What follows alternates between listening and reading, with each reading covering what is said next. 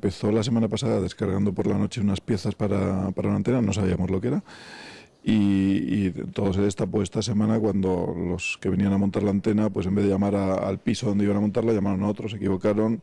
El otro vecino dijo, pues no, aquí no sabemos nada de una antena.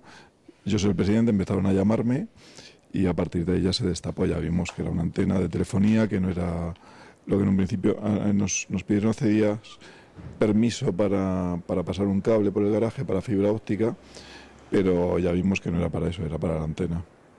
Y bueno, ahí, ahí se destapó todo. ¿Y qué dices? ¿Hablaste con el vecino? Sí, hablamos con el vecino, nos decía que él, bueno, que tenía todo legal, que tenía todos los permisos, el nuestro no lo tenía de la comunidad. Eh, realmente yo no sé cómo está el, eh, el, tema legal porque esa terraza no es, no es suya en propiedad, es de todos los vecinos, es una terraza que puede usar él, pues puede ponerse a tomar el sol, puede poner ahí una jardinera, pero eh, es de los vecinos, es eh, comunitaria de uso privativo. Entonces, para esta instalación, si eh, normalmente pedimos permiso para poner un aire acondicionado, un toldo o cosas por el estilo, para esto con más, con más motivo. ¿Ustedes no quieren la antena? No, la mayoría de vecinos eh, se niega a tener una antena al lado. ¿Y qué acciones judiciales han emprendido o van a emprender? Pues, eh, pues se ha, se ha, demandado al vecino, a, a Vodafone, eh, sobre todo por malas artes.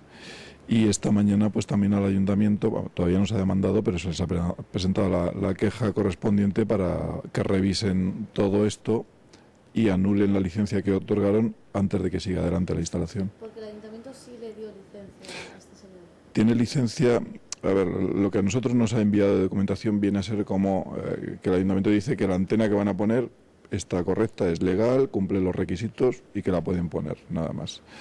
No nos han mandado permiso de, de, obras para esa instalación ni nada más. Eso es lo único que hay.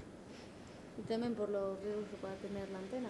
Sí, a ver, yo no sé si tiene riesgos o no, eso que, que entren ahí los entendidos, pero a ver, los, los vecinos que están, que viven terraza con terraza, pues, pues no quieren tener eso, una antena de seis y pico metros al lado. ¿Y con Vodafone habéis hablado también? Sí, ha hablado el administrador de la, de la finca. Eh, bueno, ellos tienen un contrato y se agarran a eso, dicen que podemos hacer lo que queramos, que, que, que ellos van a seguir adelante. Tienen un, un, gabinete legal fuerte y dicen, bueno, montamos la antena y para cuando queráis eh, que la quitemos ya ha pasado bastante tiempo y ya está amortizada y ya nos da igual. Más o menos esa es su versión. ¿Y lo nuevo, lo último que os ha dicho el vecino? Eh, ayer tuvimos reunión de vecinos eh, por la tarde, asistió él, no pudo votar porque entre otras cosas se encuentra con impagos desde que está aquí, no ha pagado ninguna cuota, pero bueno, nos dejó claro que su intención, por lo menos, eh, nos dijo eso, no sé si sea verdad o no, era cancelar todo y quitar la antena.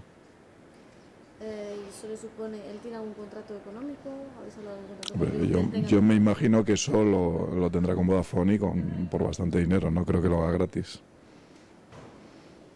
¿Qué va a ser lo próximo que hagáis ahora mismo? Bueno, de todas las acciones que tengamos eh, eh, posibles para, para, que no sigan montando la antena, de momento las obras están paradas. E intentar que cancelen los permisos que les han dado. El nuestro para pasar cables eh, por, por, las zonas comunes de la finca ya lo hemos revocado y tienen que venir a quitar el cable ese y todo lo que esté en nuestra mano para que no sigan adelante.